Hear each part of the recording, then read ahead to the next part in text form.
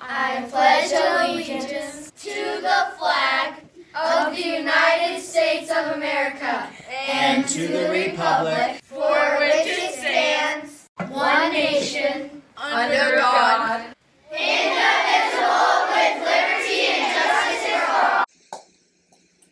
Good morning, Better Irish Bulls. This is Oliver Murray.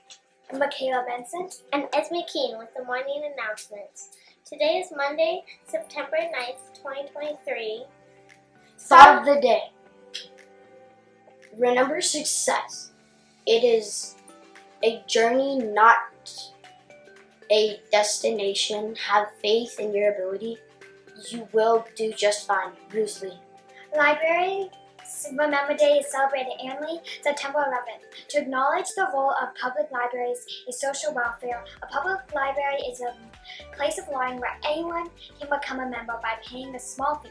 Libraries allow us to access information online, read, and dis- dis- discover books and take notes, and form communities that are centered around learning and knowing libraries also play a critical role in cultivating the habit of reading and seeking answers to what we do not know. Lunch today is three cheese capita- cavatappi, giant goldfish graham crackers, garden bar, and fruit.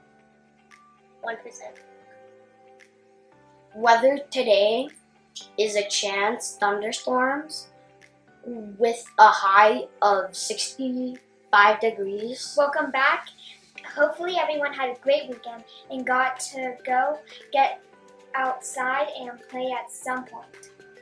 Everyone have a great day. And remember,